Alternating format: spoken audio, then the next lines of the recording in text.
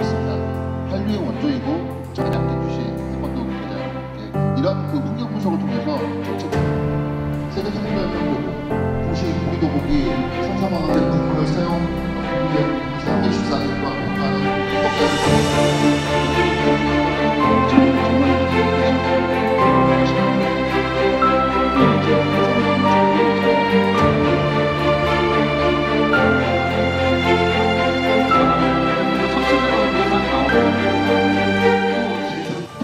실제 조사가 한 번도 없었습니다. 올해 처음 시작합니다.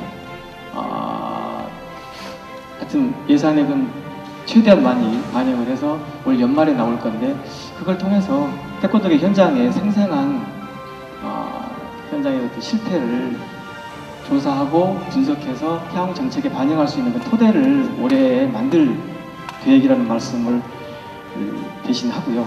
결국은 태권도의 경쟁력을 높이자는 쪽입니다. 그래서 그 지금까지 보면은 아동 시장이 줄고 있고 성인 시장으로 넘어가야 되는데 그런 경쟁력들이 없고 산업화도 좀 부족하고 세계화도 양적으로 성장했지만 질적으로 부족하기 때문에 거기에 대한 것들의 하나하나를 가져가자. 근데 시작은 기초를 다지는 거기 때문에 그 기초가 바로 태권도 정체성에서 나온다고 보고 있습니다.